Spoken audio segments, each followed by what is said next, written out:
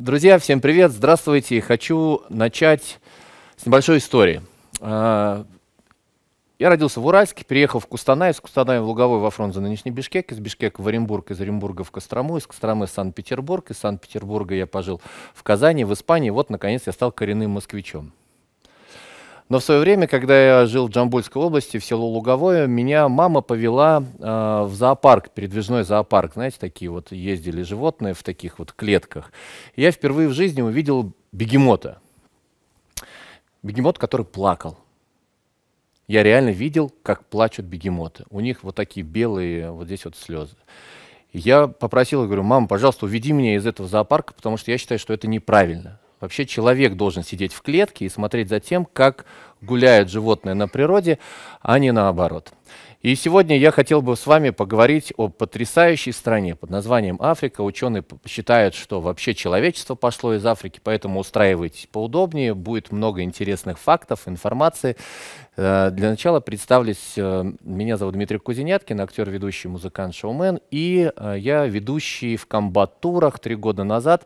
Так получилось, что наши пути пересеклись, и я этому несказанно рад. Я заядлый путешественник, и тут у меня появилась официальная работа путешественника, гида, ведущего.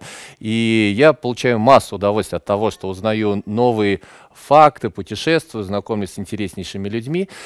И в этом году э, мне повезло побывать в Африке. До этого я еще никогда не был э, в Африке. И вот в этот раз мы отправились э, Ботсвана, Замбия, Зимбабве. Но на самом деле у нас там был еще один бонус. Э, это ЮАР. Об этом расскажу чуть попозже. Э, но сейчас мы начинаем. Здравствуйте. Погнали. Э, для начала непосредственно про наш план. Мы собирались посетить три страны. Это э, Ботсвана, Замбия и Зимбабве. Африка — это большой довольно континент, он гораздо, он при, чуть поменьше, чем Евразия, и он, как и у нас, делится там юг, восток, э, запад и центральная часть. Так вот, мы поехали, э, это куда это? На, в южную часть, да. А, значит, в Ботсване есть удивительнейшее место, а, река, которая, если посмотреть э, с, прямо из космоса, то она одна из трех уникальнейших рек, которая высыхает в пустыне. То есть она просто вот она как огромный такой, знаете, веник. Вот ты смотришь на нее, он вот так вот прям красиво э, высыхает. И вот мы поехали туда для того, чтобы почувствовать э, Африку, что называется, своей кожей, побыть там и прочувствовать ее э, первобытные. Река называется Акаванга. И я прям рекомендую вам записать э, вот где-нибудь себя в заметках, и потом обязательно посмотреть в интернете, как она выглядит из космоса. Это правда очень красиво. И вот на одной из таких вот веточек э, построили лагерь, построили лагерь, причем э, так, чтобы вы понимали, там лагеря стоят, но вот именно для нашей группы построили персональный лагерь. Я сам альпинист. Я побывал на трех серьезных горах. Это Эльбрус, Белуха, Пик Ленина, 7134 метра. И я знаю, что такое лагеры, я знаю, что такое палатки, но это был лагерь 5 звезд. Чтобы вы понимали, э, мы там, я не знаю, у нас были туалеты, у нас были ванны, ой, ванны, как они там называются, душевые кабины. У нас по вечерам горели канделябры со, со свечами, ну, пекли хлеб. Ну, короче, надо отдать должное организаторам. Вот принимающая сторона сделала все возможное, чтобы мы себя чувствовали ультракомфортно, но вопрос в другом. Одно дело, когда ты живешь в этом пятизвездочном отеле-лагере, а другое дело, когда ты засыпаешь и слышишь, что у тебя буквально метрах там в 30, в 50, ты понимаешь, что это лев. Или там, например, ты засыпаешь, у тебя и понимаешь, что это просто пробежали зебры у тебя под, под реке Каванга. Или у нас проходит лекция, и я смотрю, что-то все как-то встали, ну я так сбоку, и весь лагерь встал, куда-то пошел. Я говорю, а что, что пошел? Иди, иди сюда. И мимо нас в 20-30 метрах просто проходят слоны стадо слонов. Или девочки у нас такие утром проходят, и, э, их так немножко потряс. Я говорю, что случилось, что случилось? Он говорит, пой, пойдем со мной, пойдем со мной. Я говорю, что такое? У нас какашки слонячие перед входом лежат. То есть, ну, причем там, мы же на четвертый день играли в футбол, понятное дело, мы уже так подуспокоились, поняли, что они даже больше нас не, не боятся, нежели мы их. Но вот это вот ощущение побыть, вот, знаете, вот в дикой природе, и это прям неописуемое, конечно, удовольствие. Очень интересный э, э, момент, когда мы э, проезжали э, по деревушкам, э, мы видели, что там пасутся коровы, ну, вот как примерно как у нас, а потом э, мы уже сели на такие большие лодки с, с этими, э, нет, нет, там обы обычные движки были, и знаете, и такие, а, вот ты плывешь по этой реке, и такие деревянные ворота, они вот как бы так откатываются. А мы такие, типа, а что это за ворота такие? Он говорит, гид нам говорит, добро пожаловать в дикий мир.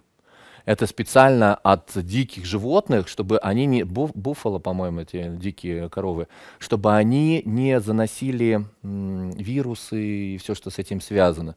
И то есть, знаете, это прям так интересно было, то есть какой-то такой деревянный забор, колышки такие торчат, и ты понимаешь, вот ворота вот так открываются, и вот там вот закончилась цивилизация, а вот здесь вот как бы начинается вот прям дикий мир. Очень, конечно, интересно. И сразу сходу мы э, там метров буквально через 50-100 уже увидели лежащих загорающих крокодилов, э, вот таких вот бегемотиков. Вообще бегемотики, э, вот из детства я помню, это так милое создание. Да? Для кого вот бегемот это милое, доб доброе создание? Поднимите руки, пожалуйста. Так вот, это самое опасное животное в Африке. Самое опасное. Чтобы вы понимали, у бегемота толщина кожи 6 сантиметров, он вообще нифига не боится от слова «совсем».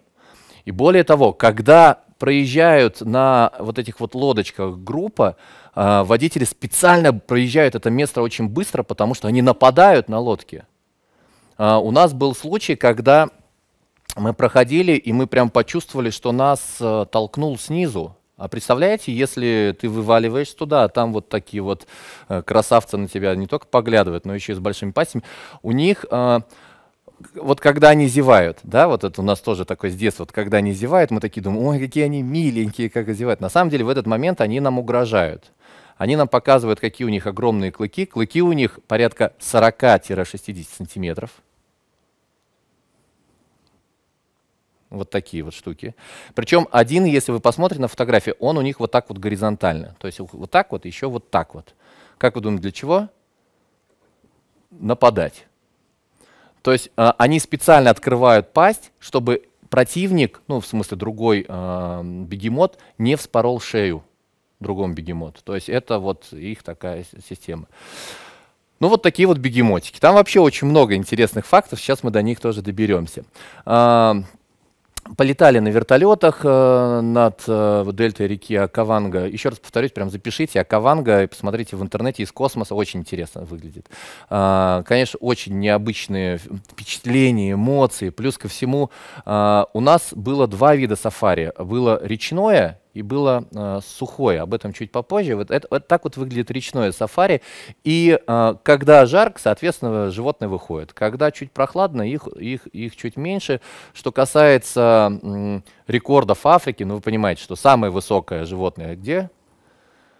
В Африке. Самое большое животное это где? А какое? Африканский слон, да. А самое быстрое животное где?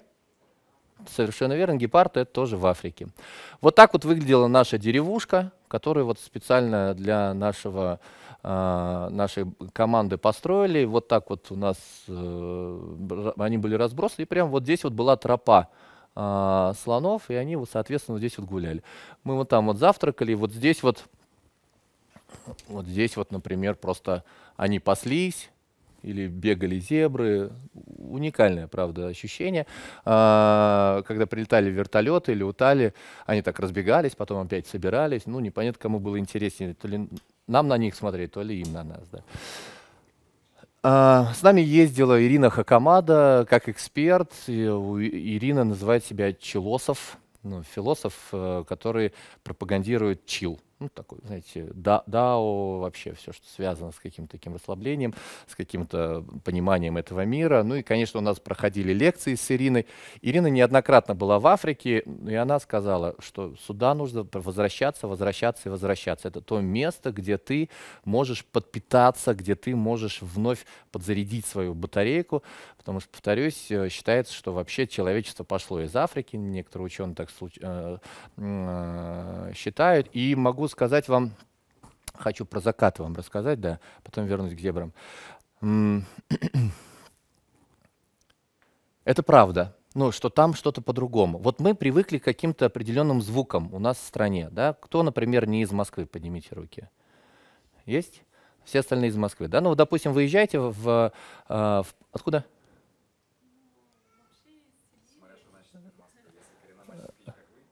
Да, да, да, я, я, я понял, да.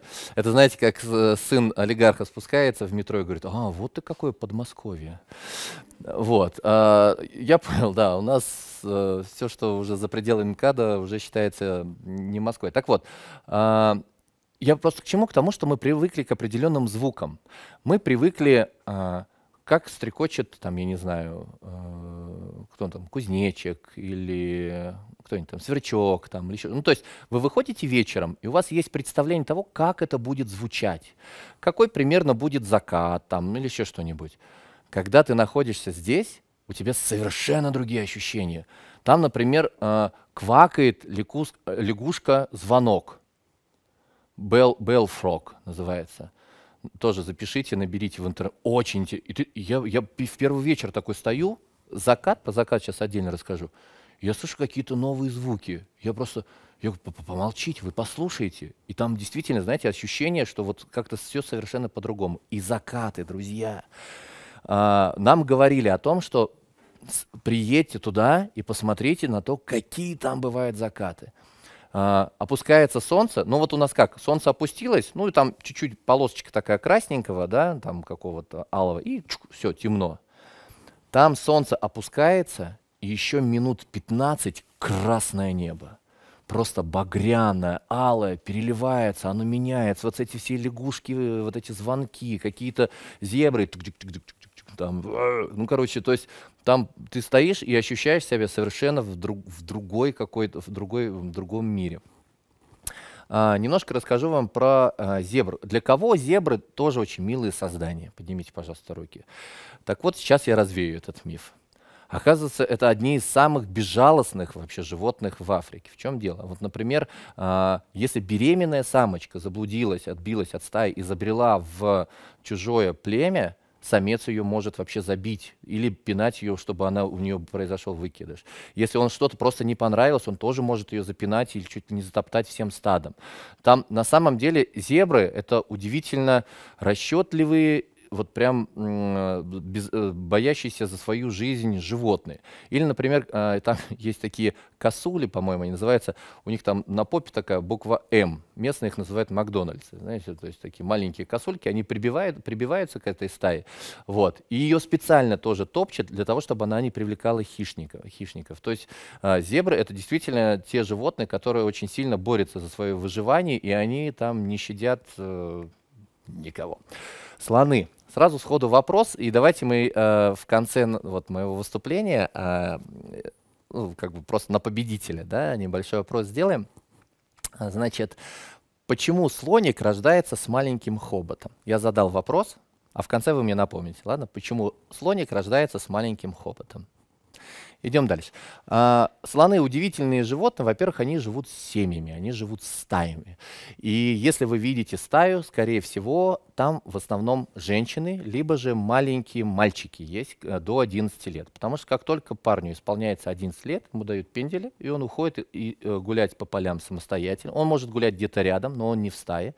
И он ходит, ищет других самочек. Как только самочка какая-нибудь захотела, значит, ребеночка, она от стаи на пару недель отходит, делает свое дело и возвращается. Uh, удивительно, что слоники, когда маленькие, вот как понять, до годика слоник или нет, он ходит под пузиком. И вот прямо их, их сразу видно. Потом, как только он, он, ему, он чуть-чуть больше, у него хобот отрастает, берется вот за, за хвостик и переносит. Что касается, допустим, а, перевозки животных через реку. Они, правда, они на спину себе берут, перевозят. То есть они друг друга поди... они плачут, когда кто-то умирает из близких. На самом деле у слонов вот поучиться семейности это прям можно и нужно. Они очень семейные и очень крепкие у них отношения. У, умные, мудрые животные. И э, кто знает, сколько вынашивает э, ребеночка слониха? Два года. Два года, представляете? Два года вот происходит этот удивительный процесс. Ну, то есть слоны, конечно, там африканские, они когда большие, они проходят, это прям завораживающее зрелище. А, идем дальше. А, сухое сафари. Повторюсь, у нас их было два. У нас было а, вот водное сафари и сухое сафари. И э, это совершенно два, две разные эмоции, потому что если здесь ты едешь там на лодке, тебя там толкают эти бегемоты, там переплывают крокодилы, когда ты так это э, рукой, знаете, как это вот в фильмах, пока ты так хочешь рукой по теплой водичке, а тебе гид, убери, ты чё вообще, это что, что? Да ничего, вот съели полруки в прошлом году, значит, ну то есть э, это как бы вот одновременно и смешно, и не смешно, вот. Э, что касается сухого сафари, э, такая большая классная машина, вот как в фильмах показывают, на человек, наверное, 8. И вы знаете, это настоящая охота. Это вот как в мультике, где там этот шарик-то с ружьем бегал. То есть это... А? Простоквашино. Это прям самая настоящая охота. То есть ты сидишь с телефоном, и он такой, прием, прием, да, видел льва там-то, о, пфф, 20 машин в эту точку. Кто быстрее, кто ближе займет какую-то там позицию. И а, мне очень понравилось, а, когда ты сидишь, и когда мимо тебя лев, ну, такой вот в холке, а если быть точнее, не лев, а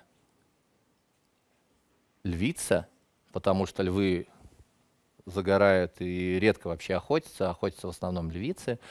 А, и когда, знаете, а, ты стоишь в этой машине, они нас вообще представляют как а, железная консервная банка. То есть мы для них не представляем интереса, они там за этими Макдональдсами, значит, бегают. Ну вот. И ты сидишь в этой машине, мимо тебя проходит львица, и ты слышишь, как она своими лапами шуршит по траве.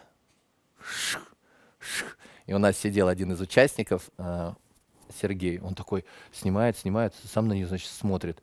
И она такая, он такой, она на меня посмотрела. То есть, ну это, это правда. То есть, когда у тебя на расстоянии вот просто трех вытянутых рук э, проходит львица, это, конечно, мощное ощущение. Это все фотографии, которые мы сделали в нашем туре. А, это вот такой вот э, гепард. Честно говоря, я не видел гепард, гепарда, но у нас а, часть нашей группы, они прилетели вот с такими глазами. А, мы видели, видели. Вот такая вот краси красивая, очень изящная. Ну, вот, по-моему, вот, по-моему, это вот эти вот... А, вот, видите, это вот, соответственно, львица охотится. И мы вот практически вот на расстоянии, там, не знаю, 300 метров. Вот они, собственно, сладенькие бегемотики, которые живут в своей среде, и я вам признаюсь честно, вот вспоминая свой, э, свою историю шестилетнего пацана, который видел, как э, бегемот плачет э, белыми слезами, искренне радовался, когда видел вот на берегу вот таких красивых, здоровых, уверенных, вот, а мы там мимо них пробегали, значит, либо проезжали на лодках. Поэтому ощутить вот эту, знаете, природу, ощутить того, как это должно происходить в настоящем. Кто, кстати, поднимите руки, кто не любит в цирках э, животных. Вот просто не... Вот. Цирк дю Солей, например, да, на, на что они сделали ставку? Они вообще отказались от животных, сказали, вот люди классно делают шоу, пусть они вот, соответственно, этим занимаются. Вот мое э, представление, что действительно мы должны сидеть в клетке и смотреть за тем, как животные гуляют.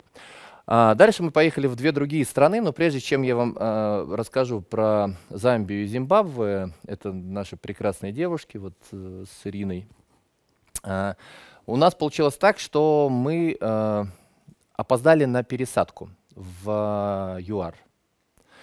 Сразу на будущее хочу дать вам несколько советов, все те, кто собирается в Африку лететь. Там все медленно. Второе. Там, как в 90-х у нас в России. То есть у нас было ощущение, что там все заполняют от руки. Вот знаете, просто и тебе выдали посадочный талон просто. А, и за час заканчивается регистрация. За час. То есть у нас за 45 минут, там, а, у них, или 40, да, а, у, них за час. Вещи лучше брать с собой, потому что у нас открывали чемоданы, вскрывали чемоданы, то есть какие-то ценные вещи пропадали. А еще, э, сейчас первое, второе, а еще они не долетали или улетали куда-то не туда. И у нас вот в этот вот лагерь, который вы видели, э, где-то человек 5-6 в таких красивых костюмах, знаете, прям как из офиса, они такие вставали рано утром, потому что у них ничего другого не было. И э, расскажу вам про, про то, как мы остались э, в Йоханнесбурге, э, ЮАР. Мы опаздываем на пересадку буквально на 5 минут, потому что там все раньше закрывается. На будущее берите там минимум запас часа 2-3. И, значит, у нас группа 10 человек, э, все такие, ну что делать? Давайте думать, давайте.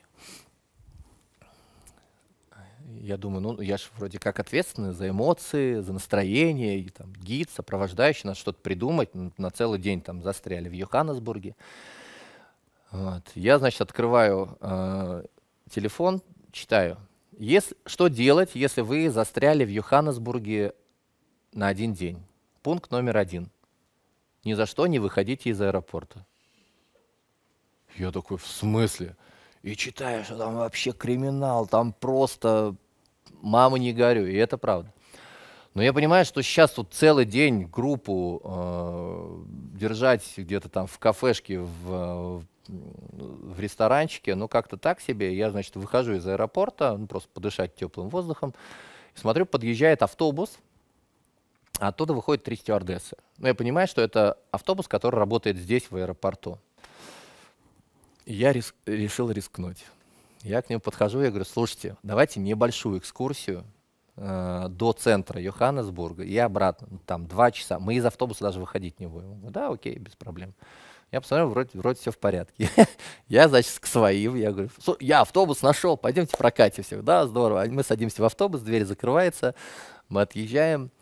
Я открываю эту статью и говорю, итак, прежде чем мы отправимся на экскурсию, небольшая статья.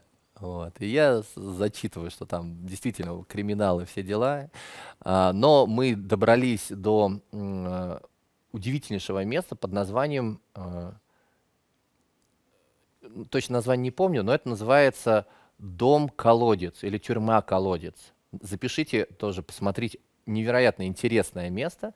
А, суть заключается в том, что в свое время построили небоскреб, а, и это была тюрьма. И он такой, как колодец, как в Петербурге, прям очень-очень-очень высокий.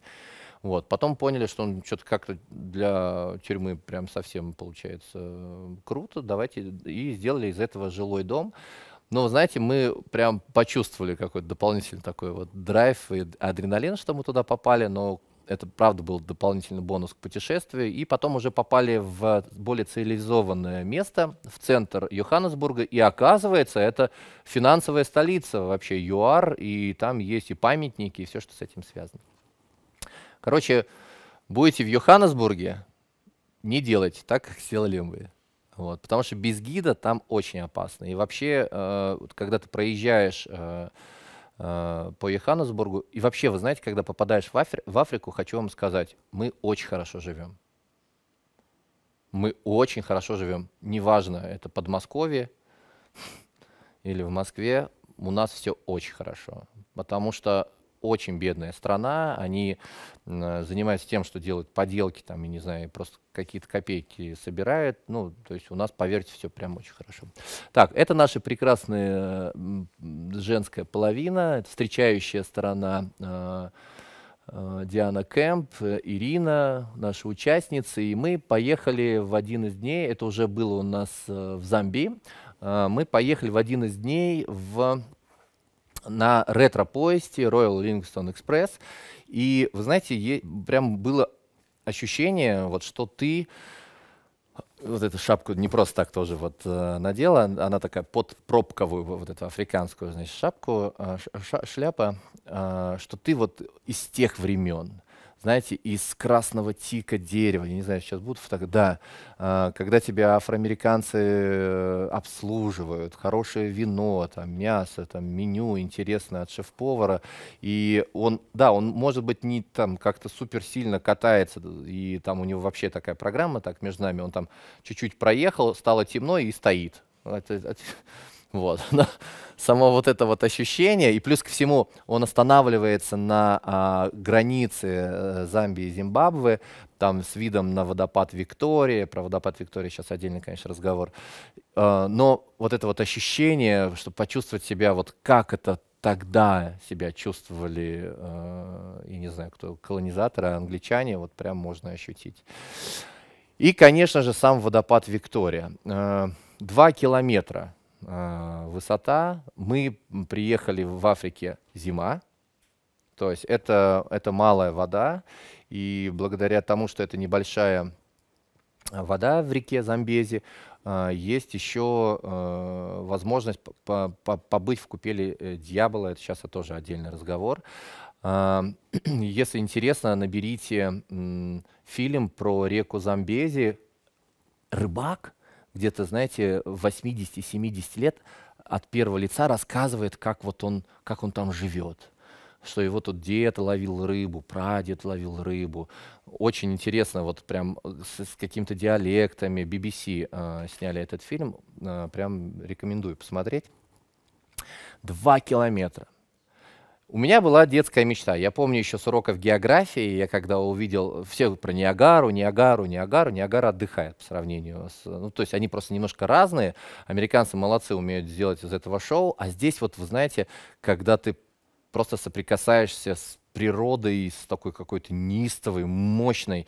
И когда ты подходишь, дрожит земля, у тебя ноги дрожат, у тебя вот этот вот брызги. Причем кто-то говорит, да вы не понимаете, она не вниз падает, она падает вверх, потому что там реально иногда э, ощущение, что она падает, а потом она тут же взлетает наверх и тебя этими брызгами обдает. Ты счастливый в, тепле, в радуге. Радуги две, причем она бывает и днем, и ночью. То есть это правда удивительнейшее зрелище. И она такая мощная. Вот мы такие вроде себя люди иногда думаем, ох, какие мы крутые. Подходишь к ней, думаешь, вот. Это, конечно, удивительнейшее. Я просто э, рекомендую вам замечтать, посмотреть это. Вообще, что касается Африки, а, там ну, это все доступно и можно сделать самостоятельно. Там очень много туристов, которые приезжают самостоятельно. Вопрос в другом, что есть места, в которые, вот как Йоханнесбург, например, туда вот лучше не ехать, ну, то есть без гида, и есть там ряд других стран, потому что криминогенная обстановка, факт. Но вот что касается просто съездить, посмотреть, увидеть такие вот э, красоты, я рекомендую вам это замечтать, конечно. И это э, вид с вертолета, ну, представляете, вот 2 километра она вот э, разливается, причем на нее мы смотрели как со стороны Замбии, так со стороны Зимбабве. Э, значит, этот счастливый молодой человек, вот он висит э, над обрывом, там 180 метров, и меня держат за ноги два африканца, вот. Ну, сейчас вы еще посмотрите фильм, поймете э, как бы масштаб просто вот этой фотографии. Пока просто запомните этого счастливого, значит, паренька кудрявого. Так. А, ну вот, кстати, тут вот видно, да? Вот. Причем я хочу обратить внимание, стоит на краю, да, парень, который смотрит за тем, чтобы я не уронил телефон. Вот. Но на самом деле там 180 метров э, высота, и грохот стоит неимоверный. И мы спрашиваем, спросите, а у вас были несчастные случаи? Знаете, как бы там группа приезжает, все как бы люди более-менее адекватные. Он говорит, нет, что вы, что вы, с 1990 года мы этим бизнесом занимаемся, тут ни разу никого не было. А потом, когда ты переплываешь через вот эту реку, а вот здесь вот тебя Uh, вот здесь вот просто натянуты две веревки, ну не знаю, тут не очень видно, и, и кто-то, кто не очень умеет хорошо плавать, их просто сносит, они цепляются за эти веревки вот с такими глазами. Нет, понятно, там ребята работают, всех выхватывают, спасают, вот. Но мне кажется, что кто-нибудь там точно когда-нибудь э, улетает, так что очень прям яркое впечатление в моей жизни в том числе. Вот, если вы боитесь плавать, точно не надо. Если вы хотите, кто вот с парашютом прыгал, поднимите руки. Вот это примерно вот что-то из, из этих же ощущений, вот такой, такой же адреналин. Вот. Но у нас вся группа сплавала, вся пофотографировалась, это, конечно, незабываемо. А, мы побывали в Elephant, Elephant Cafe, то есть э, вообще надо отдать должное, э, там очень бережно относятся к животным и мы, например, даже а, когда вот были на реке, ходили, там раз лежат кости крокодила. Кто-то такой только дотрагивается. Нет, не трогайте, не надо. Типа, пусть здесь лежат, пусть это там или что-то вот. То есть прям э, местно очень трепетно относятся к животным. И вот в Elephant кафе, например, подобрали э, раненую, раненого слоненка, воспитали, у, не, у нее там целая семья, потом она пошла гулять, привела еще одного заблудившегося ребенка, и там вот целая такая семья у них растет. И это, конечно, они, они правда, знаете, вот как есть вот добрые собачки такие вот домашние, так это вот добрый вот слоник, знаете, там сколько тонн он там весит, тебе дают сумку, и ты просто с ним там кормишь его, он там тебе целует. Ну, то есть это такое какое-то незабываемое ощущение. Так, а, собственно, все. Спасибо. Вопрос, да? Почему у слоненка маленький хобот? Для балансировки еще. Не наступать, да, то есть можно запнуться и кувыркнуться. Так, еще варианты. Из утробы вылезти, а то мешает, конечно, зацепился, да. Еще варианты. Ну, все же помнят, да, что вот у слоненка, когда рождается, у него почему Да. Крокодил не укусил, а если укусил, чтобы он его там вытягивает из мультика. Так, еще варианты. Но маме не мешал. То есть, ну вот мама, чтобы не наступила на, на хобот, да. Ну, так. Ну, а, еще раз помните, да, то есть слоненок ходит под мамой, действительно, когда маленький. Бинго! Маленький носик, чтобы он не мешал молочко пить у мамы. И он маленький. А потом он вырастает, вырастает, начинает отрастать хвост, и он же начинает есть траву. Так что вам аплодисменты, вы выигрываете. Так, ну хорошо. Какие у вас есть еще вопросы? Никаких. Мы ездили зимой зимой нет ни мухи ЦЦ, ни малярийных комаров а, и, все, и вот всех вот этих вот страшных названий. Прививок никаких не делали. Единственное, мучают до сих пор с ПЦР. То есть это вот прям постоянно, заранее, и мы вот там их сдавали. Да, еще вопрос. Ну, дней 10, наверное, там, ну, до двух, ну, дней 10 на среднем. Да. Есть два вопроса касательно того, того, что вы упомянули поиск, который был колониальный поиск, я колониальный вот это все. Да. Вот подумал, а, на территории Зимбабве было государство Родезия, в котором была очень специфичная ситуация с, с государственным устройством. Вот вопрос местные люди, которые вот живут как раз на территории Зимбабве, которая раньше была Родезией, они о них вспоминают или нет? То есть, или для них это какое-то очень давнее время, которое было совсем давно, и это как бы прошло.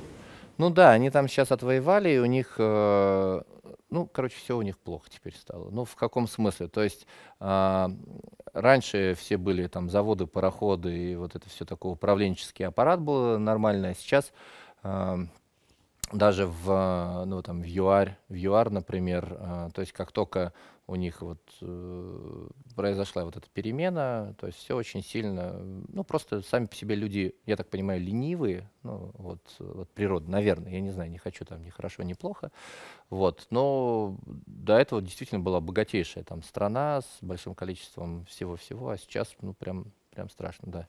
Второй вопрос, я недавно был на лекции тоже, да. с Африки, правда, да. Уганду, Руанды, Кении, да. и там э, лектор говорил то, что в национальных парках если приезжают туристы, а, гиды в обязательном порядке стараются показать львов, потому что считают, что белые люди вот в первую очередь приезжают в Африку ради одной цели – увидеть львов. Лучше старшая этого лектора, она уже ну, почти в момент закрытия парка, так не обнаружив, не обнаружив львов, обратилась к гидам, можно ли мне чуть подольше, чтобы найти львов. Так вот, вообще гиды ну, местные африканцы взяли и специально завели к львам, подождали еще полчаса после закрытия парка, то есть прям отдельно сопроводили, чтобы их выпустили из этого парка есть, а вот такое вот на территории Зимбабве. Ну, для тех, кто сейчас смотрит нас онлайн, вопрос прозвучал, правда ли, что гиды стараются сделать все возможное, чтобы белые люди увидели львов? Правда?